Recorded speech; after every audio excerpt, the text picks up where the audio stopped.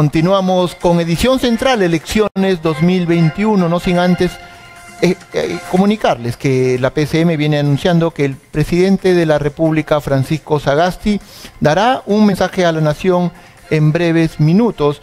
Se entiende que están en este momento ultimando detalles, están en una sesión de Consejo de Ministros discutiendo lo que serán las próximas acciones del gobierno respecto de la pandemia. Hay mucha expectativa de la población para escuchar cuáles serán las nuevas medidas que tomará el gobierno y en caso esto ocurra, pues tendremos que engancharnos, tenemos que escuchar de qué se trata este importantísimo mensaje a la nación. Mientras tanto, seguimos con el programa. Se encuentra con nosotros Pedro Morales Miranda. Él postula por el partido Acción Popular con el número 5. Pedro, bienvenido, muy buenas noches. Muy buenas noches, gracias por la invitación a tus órdenes. Él es abogado constitucionalista, trabajó en el Congreso de la República, es magíster en la Escuela de Ciencias Políticas y Gobierno en la Universidad Católica y además es actual accesitario de la bancada de Acción Popular. Antes de empezar con las preguntas, pedirte disculpas, el día de ayer no se pudo, eh, no pudimos tenerte, hubo un problema técnico, pero ya estamos acá. Eh, Pedro, la primera es un poquito saber sobre ti. Eh, me queda una duda, tú eres accesitario actual de la bancada de Acción Popular, sin embargo, tú postulas con la facción, digamos, de Johnny Lescano. ¿Con quién estás? ¿Con Lescano? ¿Con Merino? ¿Cuál es tu posición? Explícanos, por favor. Sí, mira, yo postulo nuevamente al Congreso de la República. La vez, la oportunidad anterior tuve la suerte de representar también a mi partido Acción Popular y quedé de primer accesitario. Me faltaron muy pocos votos para entrar, pero al igual que la vez anterior, vuelvo a, reiterar mi posición sobre eh, qué facción del partido represento, ¿no? ¿Cuál es? Yo te puedo decir que represento a la facción de Fernando Belaúnde Terry y de Valentín Paniagua. Ellos son los líderes que tiene el Partido Acción Popular y de cuál seguimos sus legados y sus ejemplos. Pedro, no me torees la pregunta. Hay que hablarle con transparencia a la población. Es evidente que Acción Popular en este momento se encuentra fraccionado. Es inocultable, es público. No, no es así. No es bueno, en todo caso, tú estás ahorita, eh, digamos, trabajando de la mano con Johnny Lescano. ¿Y cuál es tu relación actual con el señor Merino? Sí, mira, eh, no, no, es, no es muy cierto lo que tú dices porque en un partido democrático hay que entender que los partidos democráticos, sobre todo en Acción Popular, que tiene más de 64 años de historia, lo que ha pasado hoy día o lo que se ve hoy día, las diferentes facciones como el señor Lescano, el Mundo del Águila, Barneché, etcétera, también se daban con Alba, con Ulloa, con Belaunde y etcétera, hace mucho, mucho tiempo atrás. Lo que pasa es que en un partido democrático, como Acción Popular, las facciones son normales, pero los lineamientos, la doctrina y la ideología es una. Ya, y hay un te hago una pregunta, la última sobre este tema. El señor Johnny Lescano ha deslindado con la bancada de Acción Popular particularmente con el señor Merino de Lamas, ha tenido expresiones muy fuertes contra él. En un eventual gobierno de acción popular, eh, debemos entender que contarán o no contarán en el Ejecutivo con el señor Merino de Lamas. Otra cosa más, eh, solamente para complementar la pregunta, eh, el, nuevo vocero de la bancada, Francisco Salinas, comentó que le ha enviado una carta al señor Lescano, a fin de unificar esfuerzos y hacer una agenda común recién ahora. No sabemos si es que esa carta le llegó al señor Lescano y no sabemos si el señor Lescano la ha respondido. ¿Nos la puedes aclarar esas dos preguntas, por favor? Sí, primero decirte que el vocero, el actual vocero de la bancada, el congresista Franco Salinas, es una, un joven, es la nueva generación del partido que está buscando tender puentes. Y también decirte que todos los candidatos que ahora estamos postulando por Acción Popular tenemos una sola línea, que es la candidatura del señor Johnny Lescano, del correligionario Johnny Lescano. Todos los accionpopulistas, los verdaderamente accionpopulistas, los formados dentro del Partido Acción Popular, em, empujamos el carro hacia la presidencia de Johnny Lescano, sin lugar a dudas. Todo el partido está en filas con él, ha cerrado filas con el correligionario Lescano y tenemos que practicar la ley de la hermandad esa ley de la hermandad que nos enseñó nuestro presidente Fernando Belaúnde Terry. ¿Esa Eh, misma ley de la, de la hermandad eh, te ha llevado a ti a conversar con Merino? ¿Has tenido relación con él últimamente? ¿Han intercambiado ideas? No, últimamente no he conversado con el correligionario Merino, pero yo a- al señor Manuel Merino lo conozco hace muchos años. Él fue congresista con mi padre el año 2001. O sea, yo conozco a Manuel Merino desde el año 2001 y puedo dar fe de sus credenciales democráticas. Una persona que no ha tenido procesos por, por, por delitos, no ha tenido procesos por corrupción, ha sido una persona que siempre ha respetado la democracia, como todos los de Acción Popular, que siempre hemos velado por la- el Estado de Derecho, el respeto de la Constitución y las libertades, él también.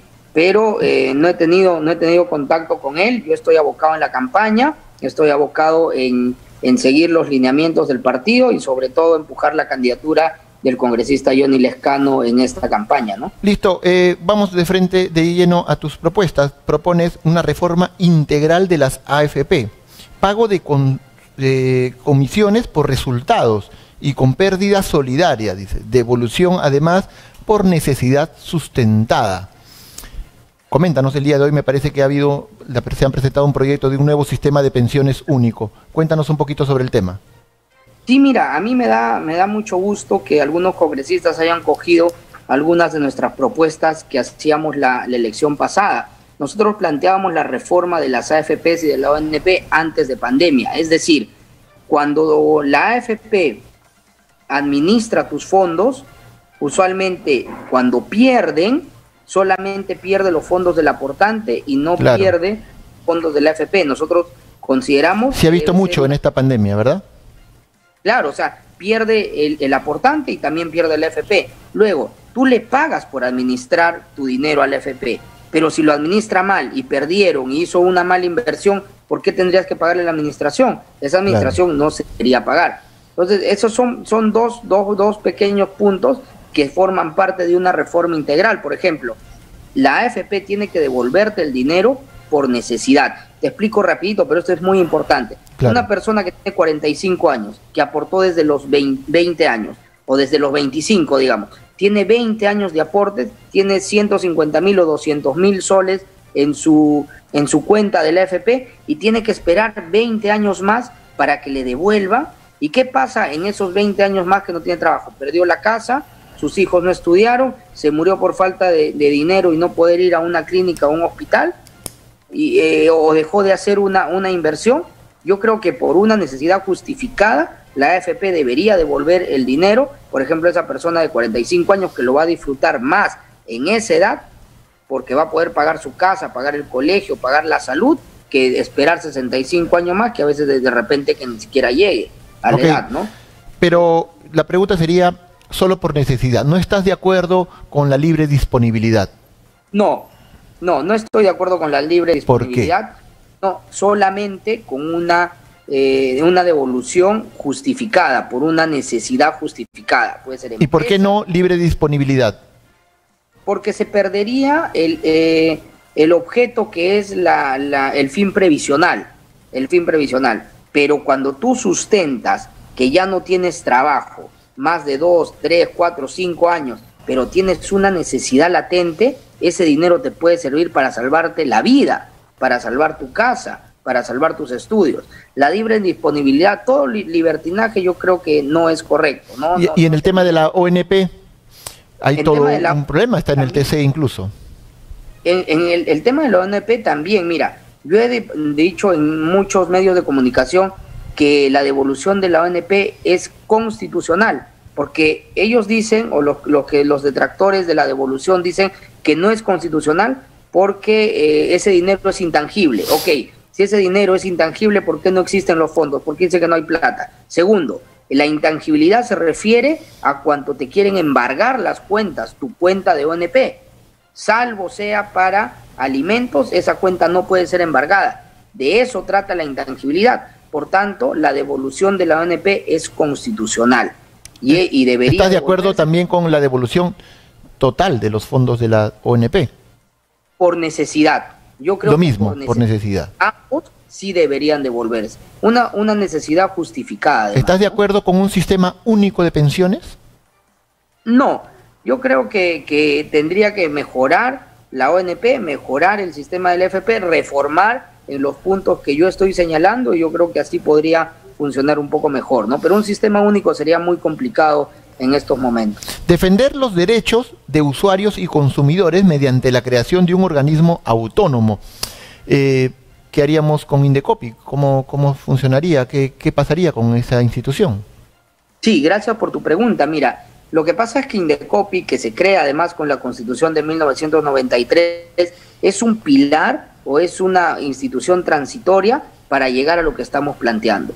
El INDECOPI es el Instituto Nacional de Defensa de la Competencia y del Libre Mercado, etcétera, ¿no? Pero no es una institución que defienda los derechos de los usuarios y los consumidores.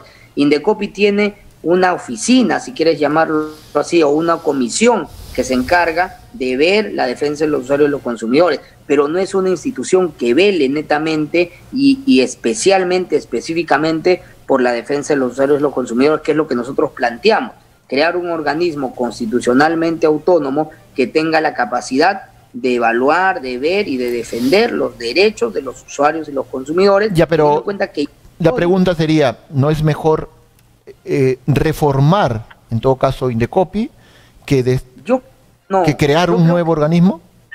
No, yo creo que no por una sencilla razón, porque como te repito, el Indecopi no fue creado para la defensa de los usuarios y los consumidores y en estos últimos 20 años hemos visto, o de repente yo me equivoco, pero tú me podrías dar un ejemplo de qué cosa ha defendido el Indecopi. ¿A quién ha defendido más? ¿A las grandes empresas o a los usuarios y los consumidores?